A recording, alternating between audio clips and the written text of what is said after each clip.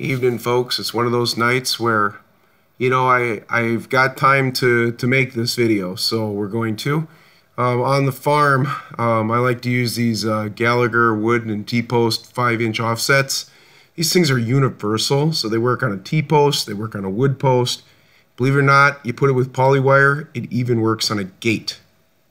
This is my uh, kind of first prototype that I made years ago, and I've had this gate now for six years. I have it on uh, the next gate too. Um, these are not uh, bull gates. They're just a cheaper Priefert gate out of Fleet Farm. And people come on my farm all the time and they're like, wow, your gates haven't rusted out and they're not all bent to crap from your horses. Uh, it's because of this.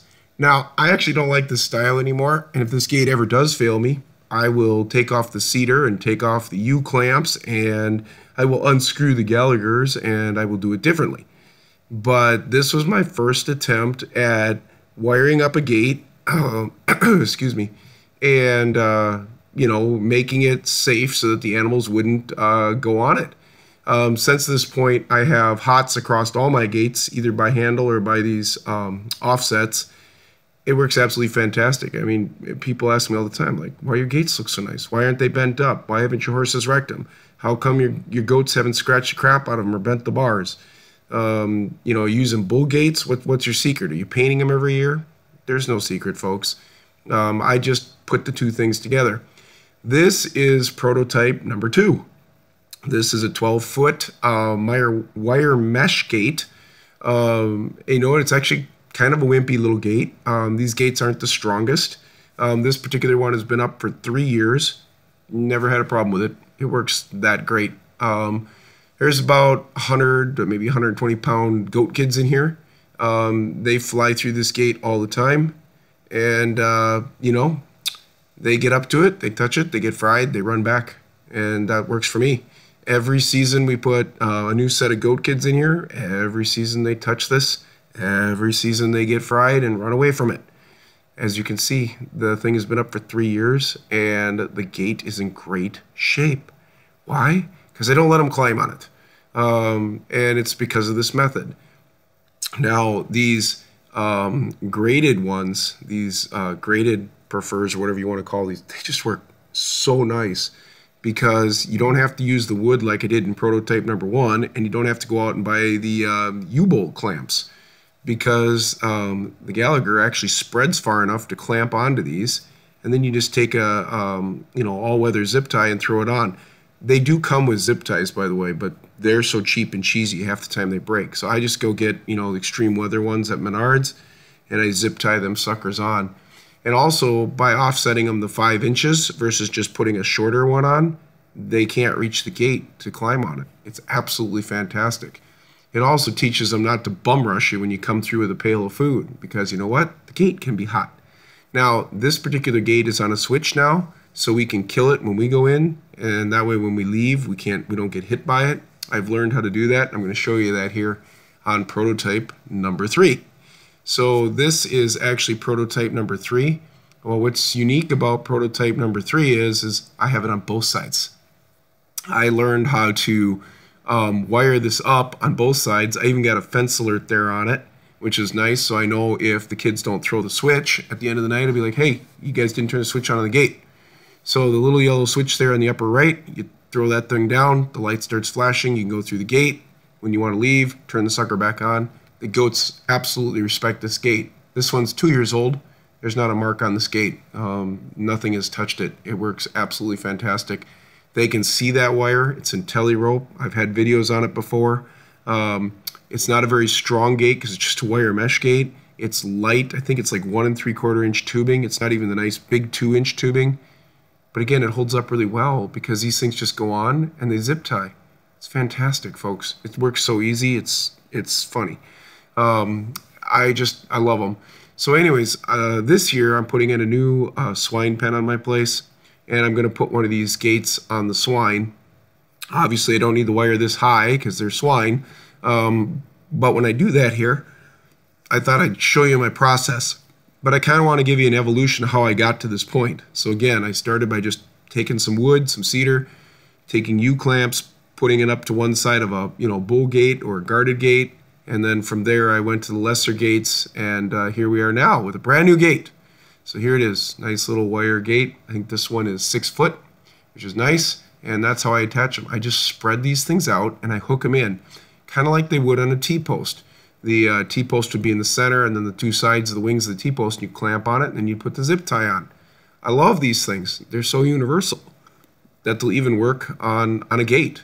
So right now I'm just kind of trying to figure out the spacing. I think I'm going to put the, the bottom one so it's about maybe four inches up to six inches up. The next one's going to be at 12 inches. The next one's going to be probably 18 to 20 inches. I don't have to run these quite as high as um, the other gates because you know they're piggies and they're feeder piggies. So um, you know you don't you don't have to get as crazy with the height. I really want to just stop that snout from trying to get under the gate and lift the gate. Now, also to stop it from lifting the gate, I put the gate in so the top hinge is pointing down, that's holding it, and the bottom hinge is pointing up. So obviously that kind of locks it in place from them lifting it. But it'd be nice if they don't wreck my gate. Um, I've had the ability to um, make a couple different hog panels um, at the neighbors' places and stuff, and I've seen what these guys can do to a gate. Um, so um, this is my version of the best gate for animals. I just I love it. Um, I haven't had a horse, I haven't had a cow, I haven't had a pig, and I haven't had a goat wreck any of my gates ever since doing this. This is um, my daughter Tabitha and I um, just sticking regular zip ties on it. These are the extreme weather ones from Menards. I just like them because when you um, zip them down, they they don't tend to break if it's cold. Um, it's not actually that cold out here. We're starting to get spring. It's uh, I think 49 degrees out. So gosh darn it, we're we're in short sleeves. We're letting the sun beat on us a bit. Um, but you just zip these things down tight. I honestly don't even think you need the zip ties sometimes because these things are on so tight. But you know, if an animal hits one of these and an offset pops free, it would short out. So it's just kind of nice to zip them on. That way they don't pop free. These things, you can put, um, you know, regular tin wire on them. You can put this IntelliRope through them. Um, you know, they've really got a lot of different, you know, methods. I personally like um, the uh, IntelliRope um, that you can get at Premier. I find it to be a good product, you know, um, said to last almost 20, 25 years. They make even better than this, but for the cost and what I go through, this is this has been great. Um, I've been on this farm since 2005 when I bought it. I've still got the same IntelliRope up um, way back then. So Absolutely fantastic, folks. As you can see, I'm just kind of threading it through. I'm just making kind of a zigzag pattern so I can just use one strand.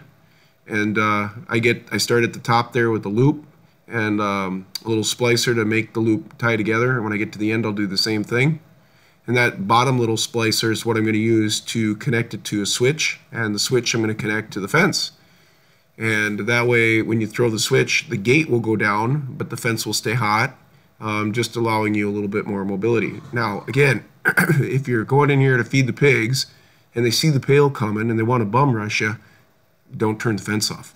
Um, open it up with the fence hot, and that way when they push into you a bit, you can get out of the way, let them bump the fence a couple times. They learn real quick not to come at you, which is really great. I personally find that to be a big advantage uh, when doing this. So all I'm going to do is uh, put the put the uh, splicer on here. Um, you know, it's just basically two nuts and it clamps down. I cut off the extra IntelliRope, and uh, this gate is pretty much wired up. I just gotta um, put the um, the main leads from the switch in and put the switch in and then to the fence. Simple as that, folks. I recommend uh, test fitting it. Um, if you like that gate handle lock there, that's one of the best um, gate locks. Um, I got a video on that too if you surf through the the playlist. Um, but that's a fantastic lock. It works absolutely great. Allows the gate to go up and down in case there's you know winter change. So here I am. I've got um, I got basically a, uh, another tie. It's got two round ends on it. Wire. Buy these things at Fleet Farm. Got some extra wire. Make it yourself. Doesn't really matter. Um, but I'm going to attach it to the inside of the fence where it's hot. I'm going to run it behind the gate. I'm going to come up this post and I'm going to tie it right into um, a switch.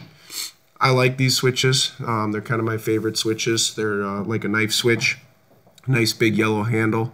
Um, you can buy these at a couple different places. Um, you know, again, you know, shop where you like, folks. Buy buy what you like. I, I like big switches that I know when they're in their down position. I don't like buying the knife switches that have black handles because I can't see them from a distance. This way I can see them when I'm driving by and be like, hey kids, you haven't turned the light, the knife switch up, you know? That way it works great. So right now I've got the hot going into the top of this of the knife switch and then coming out of the bottom of the knife switch, I'm going to um, run to the gate. So again, when you close this knife switch, the gate will become as hot as the rest of the fence and our little swine will not like it, um, which is just fine with me. I actually plan to put out a video on this uh, new uh, pig pen um, but uh, because of weather, I haven't moved the feeder pigs into it yet. So maybe I'll do that this week if the weather gets better.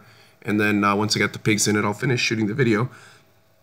And I'll show you what we did with the pigs on the homestead here, uh, getting them moved to a, a new location. Um, a lot of times uh, with feeder pigs, um, as they get bigger, they really get kind of, you know, rooty. They uh, start ripping up the dirt and making a mess and uh, making wallers all over the place, which is fine. They're comfortable that way. I get that. Um, but I'm not really sure I always like that. It makes a real mess when I want to do the butchering on the farm. Um, and certainly uh, they eventually get out of my fencing. And I am tired of the feeder pigs getting out because when they do, they trample gardens, they eat things, and uh, probably worse than that, they're really hard to get back in unless you've got the right boards and gates to, to keep them in place. So sometimes that's just a real pain for me. So here I am, um, I'm just attaching it here to the uh, gate. And again, it just screws right onto that um, little splicer. And uh, just like that, that sucker is wired up. Again, I got kind of a 6 inch level, um, about a 12 inch level, and I think almost closer to 20. They won't, they won't climb on this gate. I got the latch on it that I like, um, that allow it to go up and down in the frost. I got the knife switch on it here, which I can throw up. And when you pull it down, it's off. Throw it up, it's hot and this gate will be protected. There won't be an animal rooting on it or hurting it. Thanks for watching, folks. This is how we make you know our gates really last. Um, we wire them up, and uh, works really well with these uh, Gallagher five-inch offsets in the universal style. You can buy them. At least I buy them at Valley Vet. Um, no no plug there, but but either way, it works great. I hope you enjoy your day.